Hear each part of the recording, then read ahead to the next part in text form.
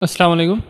فیض بھائی، میرا سوال تھا کہ کچھ لوگ ایسا گناہ چھوڑتے لوگوں کے لوگ کیا بولیں گے کر کے اس وجہ سے؟ یعنی معاشرے میں رہتے، مسلمان معاشرے میں رہتے، تو گناہ اس وجہ سے چھوڑ دیتے۔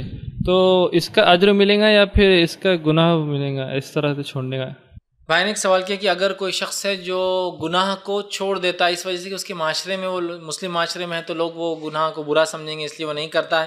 تو کیا اس کو اجر ملیں گا یا گناہ ملیں گا؟ دیکھیے، اصل یہ ہے ان انم العمال بن نیات اعمال کا دار و مدار انحصار نیتوں پر ہے۔ تو اگر کسی شخص نے گناہ کو اللہ کے لیے چھوڑا تو اس کو اجر ملتا ہے۔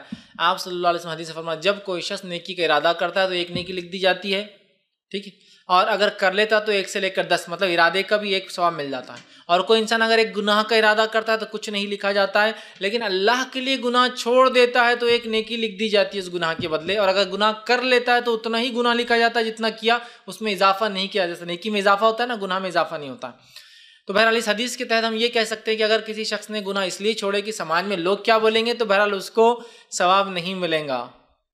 سمجھ رہے بات کو؟ اس لیے کہ اس کا جو ہے سماج کی وجہ سے وہ گناہ نہیں کر رہا۔ لیکن سوچنے کی وجہ سے چونکہ اس کو گناہ نہیں ملتا گناہ کا، اور وہ کر نہیں رہا، تو لہٰذا ہم یہ نہیں کہہ سکتے وہ گناہ گار ہوں گا سمجھ رہے لیکن جو ثواب ملنا چاہیے کسی گناہ کو چھوڑنے کی وجہ سے وہ ثواب کا مستحق نہیں بن رہا۔ جیسا کہ ایک انسان ہے، مسلم معاشرے میں ہے، وہ چاہتا ہے اس کی بیوی بے پردہ رہے، لیکن سب پردہ کرتے ہیں تو وہ مجبور نہیں کراتا ہے۔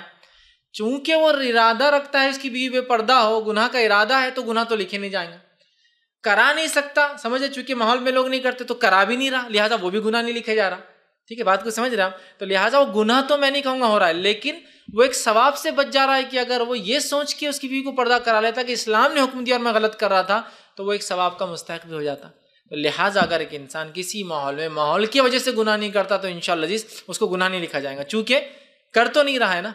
اور سوچنے کا تو انسان کو گناہ ملتا نہیں ہے۔ نیکی سوچنے کا ثواب مل جاتا ہے، کرنے پہ ثواب اور ثواب دس گنا تک بڑھ جاتا ہے۔ گناہ سوچنے کا کوئی گناہ نہیں ملتا ہے اور گناہ اللہ کے لیے چھوڑنے کا ثواب ملتا ہے، لیکن چونکہ وہ گناہ کر تو نہیں رہا ہے، نیت رکھ رہا ہے، تو لہٰذا ان شاء اللہ سے گناہ تو نہیں ملیں گا، لیکن جو ثواب ملنا چاہیے گناہ چھوڑنے کا، وہ ثواب کو مستحق نہیں ہو رہا ہے۔ لہٰذا اور اسے ایسی نیت کو بدل دینا چاہیے، اس لیے کہ نیت ارادے میں تبدیل ہوتی ہے۔ اگر اس کی نیت بعد میں نہ بدلی اور اللہ نہ کرے، ایسے ماحول میں چلا جائے جہاں اس کو چھوٹ مل جائے، تو پھر تو پھر کیا ہوگا اورنگ آباد میں تھا، سب گھر معاشرے والے تھے، خاندان تو پردہ کرتے تھے، امریکہ چلے گا، اب کون دیکھنے والا؟ ہے نا؟ چونکہ ارادہ پہلے نیت تھی نیت تھی نیت تھی، موقع ملتے ہی وہ نیت ارادے میں تبدیل ہوگی۔ لہٰذا اس نے اپنی نیت کو بھی بدلے، لیکن ان شاء اللہ عزیز، اس کے صرف سوچ کی وجہ سے اس کو گناہ ان شاء اللہ نہیں ملے گا۔